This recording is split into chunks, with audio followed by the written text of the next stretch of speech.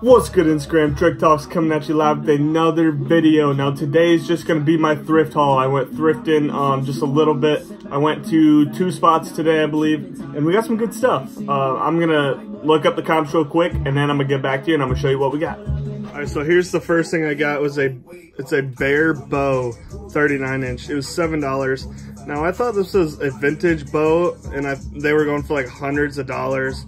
But now that I got it, and of course I'm at home chilling looking at it. If you can see that, it is AMO compound string length 39 inch. It'll sit right there, whitetail hunter. I thought this was a vintage bow, but it turns out it's not. But they're still going for decent money, but I wouldn't have bought this if I would have saw that earlier, but that's my bad. So on to the next one.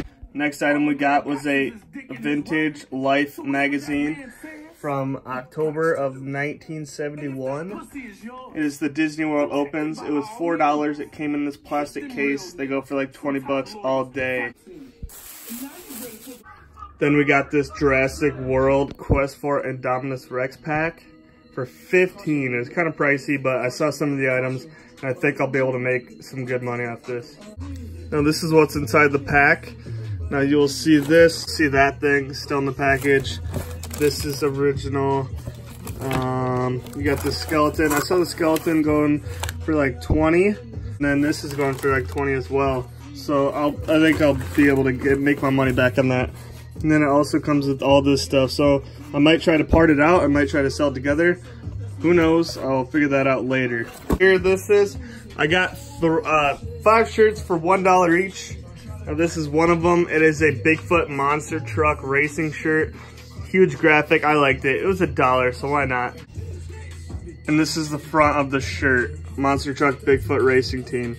I think it's pretty cool. It's just a Gildan shirt, but pretty sweet graphic on there. The next dollar shirt is going to be this another Monster Truck shirt. The Crush Station. The Monster and Lobster. I mean, this thing's sweet. Very cool graphic on the back. This is also a dollar. These are all going to be a dollar. And this is the front of the tee, the Crush Station, the Monster Lobster, baby. This is a dope piece.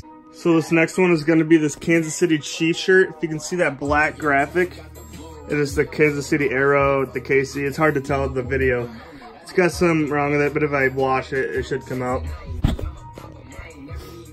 And this is the front. It's also got the Chiefs, the black, pretty cool with the red. It is a Nike shirt the Nike check there. Pretty cool t-shirt for a buck. And we got this Nautica Jeans Company shirt with the Nautica tag on there. Pretty nice shirt for a dollar. You know, can't go wrong. White on the back as well. And then finally, just this simple, it's like a cream Nike shirt with the little navy logo on the chest. It's not very vintage, but it's still a dope piece regardless for a dollar. So the total for everything was $15, $4, 5 bucks for all this, $7 for the bow, $31 total. So those are some very good pickups. If anything, I can take some of those dollar tees and throw them in with like other orders just for like a little thank you, like I appreciate you, and then just throw in an extra t-shirt. Hopefully they leave a good review, tell their friends, whatever. I wish I could go back on the bow. I really, I regret buying that now that I see the comps because I thought it was going to be hundreds of dollars. I thought it was going to be a good one, but it wasn't. Bow might be a local sale. Uh, it's to be a pain to ship no matter what I do. I had to just take the L on that one, but we will see. I might even just hang it up. Seven bucks kind of sucks, but we'll see what we can do with it. So that was today's thrift haul, 31 bucks. Appreciate you guys watching. Much love. See you in the next one.